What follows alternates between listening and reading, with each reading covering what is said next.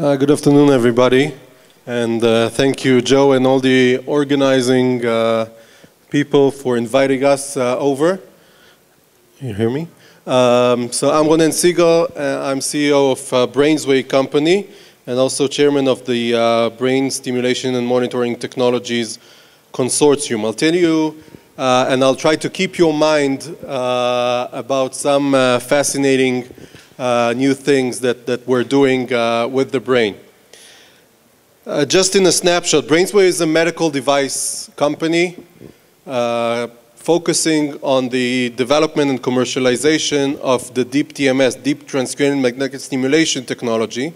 This technology was uh, invented by Professor Zangen at the uh, NIH, the US uh, National Institute of Health. And US government uh, owns the IP and Brainsway has the exclusive worldwide license for commercializing uh, this technology.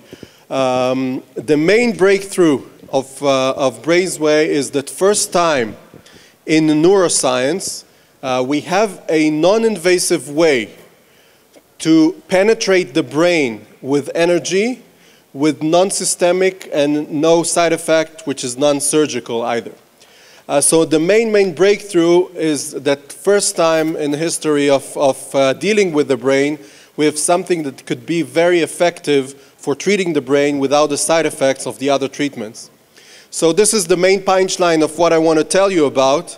And from here, all the rest is only details, so I'll try to do it fast. Brainsway is also uh, traded uh, in the Tel Aviv Stock Exchange under a BRIN since 2007. The main idea starts with the, the understanding that everything that we do in the brain has to do with electrical activity. The brain is more than anything else an electrical machine. The problem starts if we're trying to do something and there is a, a too much or too little electrical activity in a certain area, this usually results in a brain disorder. So what could we do with that?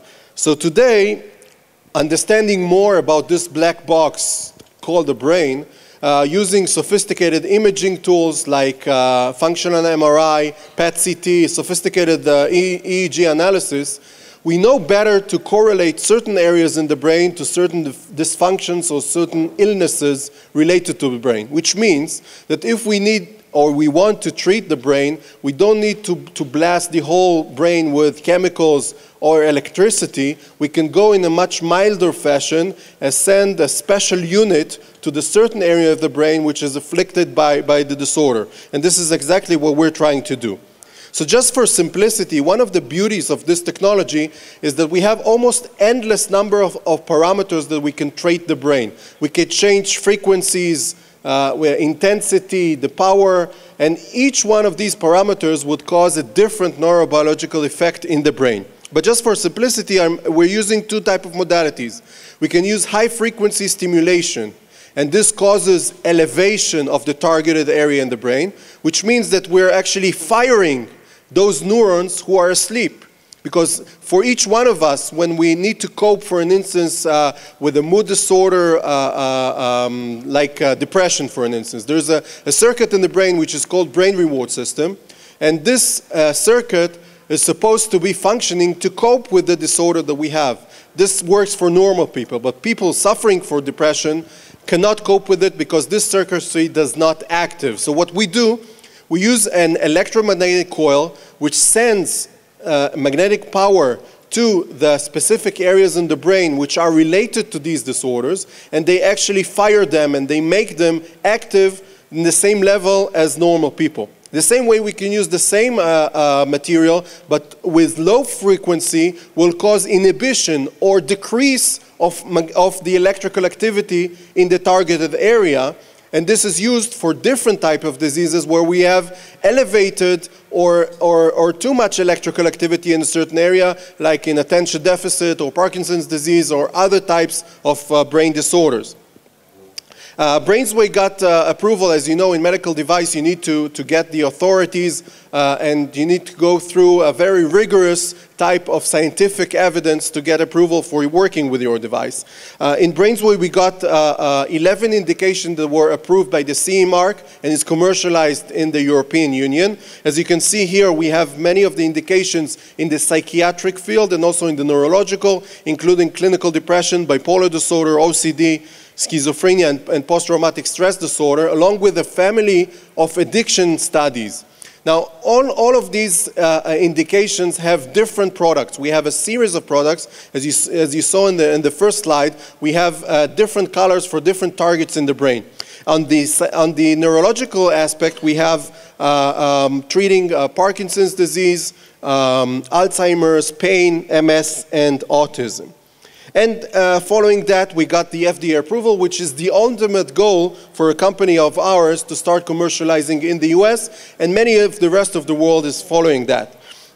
This is the, the, the rest of the indications. I won't got, uh, get into all these but what, what's interesting is also that everything is backed in a very rigorous and very uh, high-level scientific studies that we've uh, conducted, and everything is published in peer-reviewed papers in the most distinguished neuroscience papers in the world, in clinical studies and also in preclinicals, where we have a lot of studies that we're doing first phases in animals, and then we, we, uh, we show the, the safety and, and efficacy of these treatments.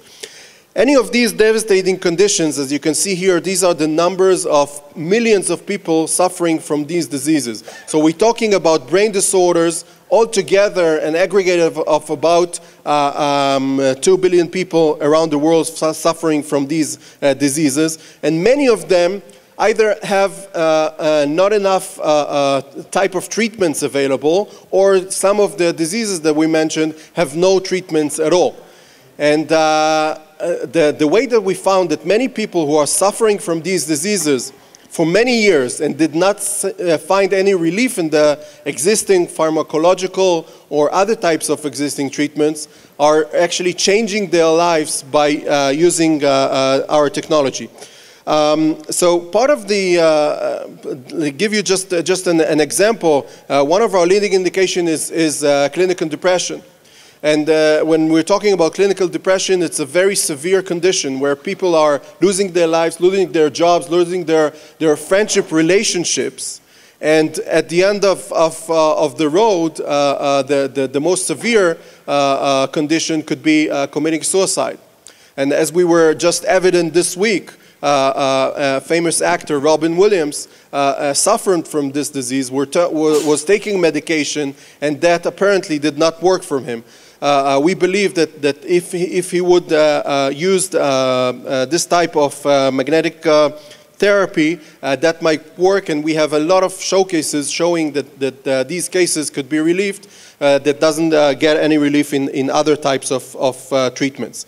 As we can see here, even though the drugs are first line of treatments and still people are looking into taking drugs for solving their issues, um, at least 50% of the people are unresponsive for the drugs or cannot tolerate the side effects which are uh, uh, associated with, uh, with taking the drugs. So what could we do with them? So electric shocks, as, as uh, many of you know, uh, found to be very effective for treating the brain.